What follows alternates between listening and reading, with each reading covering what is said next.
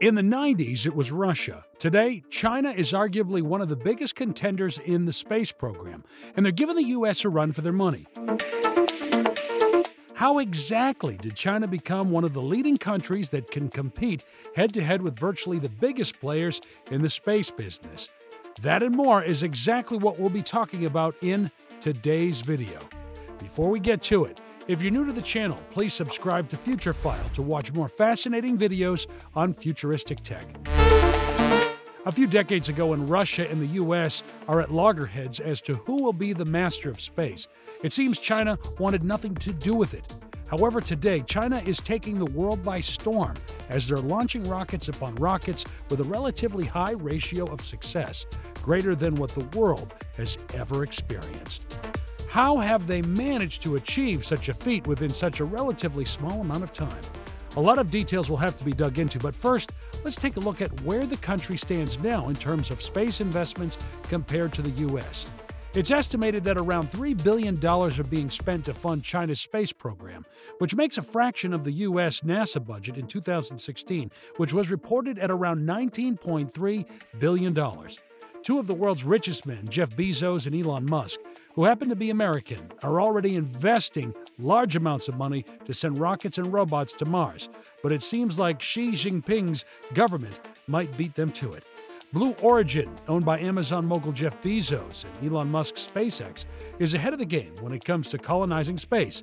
March 30 is the date of the launch of SpaceX's Falcon 9 rocket, and it looks like China is proclaiming that by 2030 it will win the race with the U.S. Chinese tech companies are leading toward breakthroughs in modern technologies like aerospace, artificial intelligence, robotics, and big data analytics. Maybe the future belongs to our Asian friends, but we'll have to wait and see.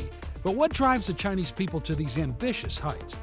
It may seem like the only goal is to boost the Chinese morale at home and abroad, but it's clear that privately backed space startups are providing a substantial benefit for the backers. Now it seems like NASA feels pressure to compete with the ongoing Chinese space fever. If the Chinese government beats the race, it would be the first time in history that a Chinese astronaut enters orbit. The steady growth shows that in 2016, China launched more rockets than Russia, exactly the same as the US that year in 2022. This is a substantial improvement for the CNSA, and they seem to put out just important milestones without any radical mistakes. Among those missions was Shenzhou 11, a rocket that carried a crew of two to dock with China's Tiangong 2 spacecraft. This served as a stepping stone for the Chinese space station in early 2020. Experts say that this kind of behavior is purely for prestige. It's escaping what they would call the domination of the West and the U.S. It's a way to assert China's independence and a return to the global stage. Dr. James Lewis, Senior Vice President at the Center for Strategic and International Studies, says even if historically the space program has been state driven to prove the nation's technological prowess, it looks like it could pay economic dividends as well. According to the Unicorn List, which refers to the companies worth over $1 billion, China is home to 43 startups worth at least 1 billion, and it looks like President Xi expressed a desire to see more of them, especially if they have something to do with information technology and network related business. The signs within and outside of the Chinese government are clear. There seems to be a consensus about the benefit to both the private and state owned sector. This would catalyze technological breakthroughs that will lift China's global standing and save its slowing economy. The main investors in China's space program seem to be hedge funds and universities. Two of the startups, OneSpace, that launched a vehicle in 2018, and ExPace, founded early last year, plan to rent out their Kuaizhou rocket to those looking to loft small satellites into orbit. And another, LandSpace, launched in 2015, plans to conduct its first commercial launch this year. Still, these companies can't be compared to SpaceX or Blue Origin for the sole reason of being tied to the government. The Kuaizhou rocket is apparently based on the launcher for Chinese anti satellite weapons and missile defense interceptors, while LandSpace's rocket is based on the government's Long March 11 rocket. It might be just a way into the market since the ambitions of OneSpace seem to be planning the development of a manned space capsule, and LandSpace is reportedly going to a far more powerful liquid fueled rocket that could be a match for SpaceX or Blue Origin. This private sector push could allow companies to tinker and ideally improve government designs. But beyond rocket hardware, China is pushing a major boost in spending on space science programs that will challenge firms to develop new materials, sensors, and other technologies. The current five year long plan, already in use in 2020, calls for five major space exploration projects. These include a dark matter seeking satellite that launched in December 2015 and an experimental quantum communication satellite that launched last year that could lead to significant breakthroughs in communications and cryptography.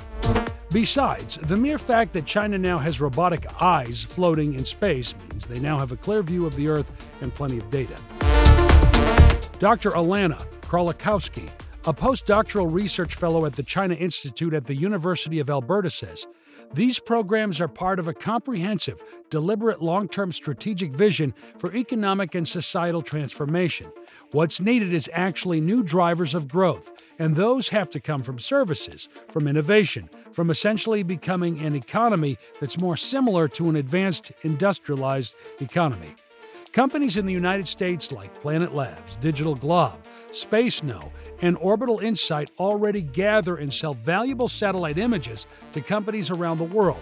And now, China could use the same strategy, but utilizing the equivalent to GPS via DAO satellites. China clearly isn't wasting any time, and their desire to prove themselves as worthy opponents seems to be the driving force of these endeavors. Through its own investment, China is becoming a valuable opponent to the states in managing satellite data. It will be interesting to see the development of the situation, especially since the Chinese backers don't have to answer to a specific entity. Their investments are privately handled, and that means they can do whatever they want. All in all, we can see a clear upward trajectory for both China's rockets and its space related ventures. It's clear that as time passes, we will be seeing a significant improvement in China's technological fares. It seems that copying is the greatest form of flattery, but it's also a very safe path to success. In fact, the new strategy, heavily reminiscent of the Long March in the Chinese Civil War, makes us think of incredible outcomes such as China actually beating everyone and coming to Mars first. If we remember, communists under Mao Zedong used this tactic to retreat when they were under attack and reformed to come back stronger and more equipped. This leads them to eventually win the war.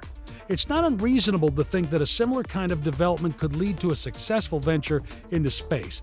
China just might beat everyone with silent and resilient efforts, just like in the Chinese Civil War.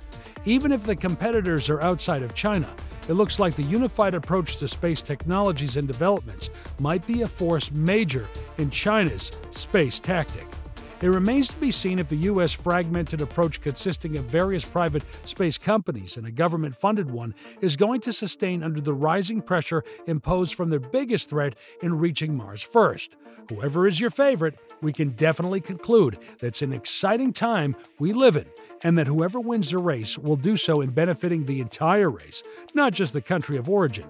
Still, it seems that China's biggest fuel seems to be national pride and a sense of gaining independence from the pioneering clutches of the Western forces.